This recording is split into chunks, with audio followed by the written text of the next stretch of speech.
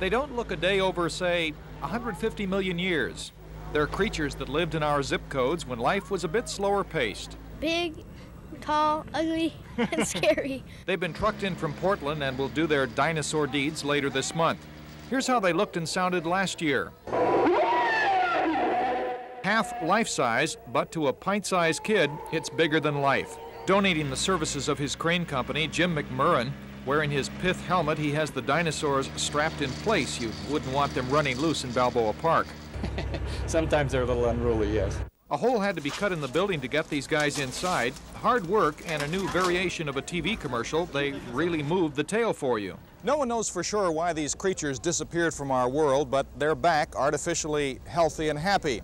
They never had much of a brain when they lived. It's computerized now. I wonder if they're embarrassed having their rear ends removed. The walking, talking creatures are made in San Juan Capistrano. Can you imagine a swallow returning and seeing this? It's tall and it's real weird and neat. It cost $30,000 to bring in the exhibit, but admissions are expected to at least double.